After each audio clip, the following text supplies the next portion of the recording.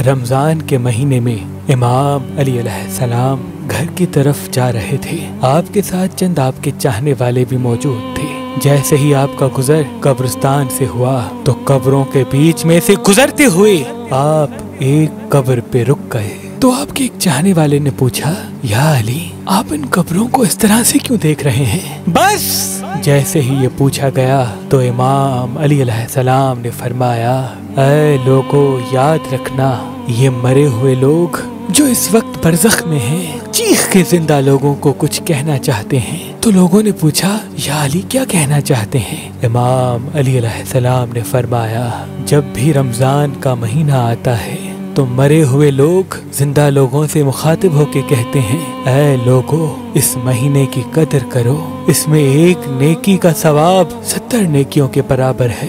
इस महीने को उस तरह न गवाना जिस तरह हमने अपनी ज़िंदगी में गवा दिया।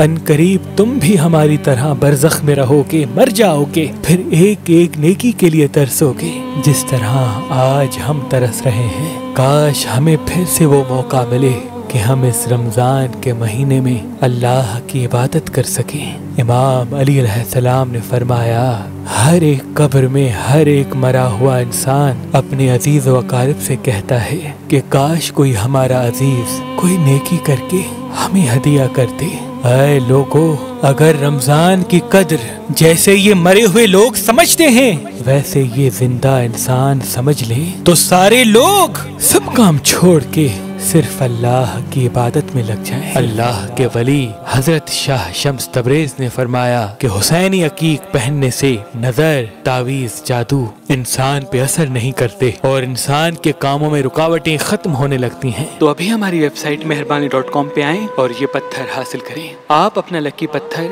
हमारी एप्लीकेशन जो गूगल प्ले स्टोर और आईफोन एप स्टोर पे मौजूद है उनसे भी हासिल कर सकते हैं। मजीद मालूम के लिए हमारे नंबर पे कॉल करें। अल्लाह आपको सलामत रखे।